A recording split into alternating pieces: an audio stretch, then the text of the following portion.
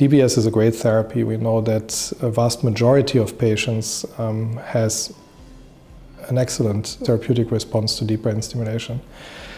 But minimal deviations in electrode positioning, a minimal variability, which is unavoidable with this technique, minimal variations can cause relatively large variations in outcome.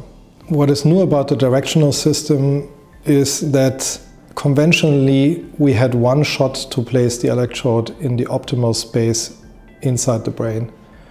And with a directional system, we will have the opportunity to compensate for that post-operatively.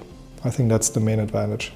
A conventional DBS system is using electrodes with a ring shape, and this ring shape is creating an approximately spherical electrical field around the electrode. And one can only change the dimensions of the sphere, but one cannot change uh, the shape of uh, the area that is being stimulated. And that is now possible uh, with the combination of a segmented electrode together with multiple independent current source technology so that um, one has the choice of either providing an electrical sphere or having a kind of a lighthouse effect uh, so that one can beam current into particular directions, for example, away from um, areas that provide side effects.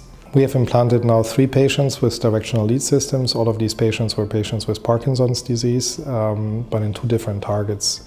Two patients were implanted in the subthalamic nucleus, and one patient in the VIM for severe Parkinsonian tremor. All patients um, tolerated the surgery well, and in all of these patients, we uh, have been able to demonstrate that steering has a profound impact on the um, threshold for side effects which means that um, it works. One can direct current away, for example, from the uh, pyramidal tract to avoid contractions or dysarthria.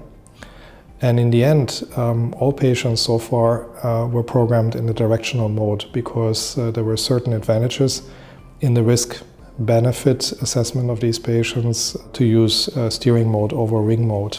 Many patients with movement disorders feel that they may not be eligible for the surgery either because they personally feel that their symptoms are not severe enough compared to others, or because they are afraid of the risks of the surgery. And I think both impressions need to be corrected.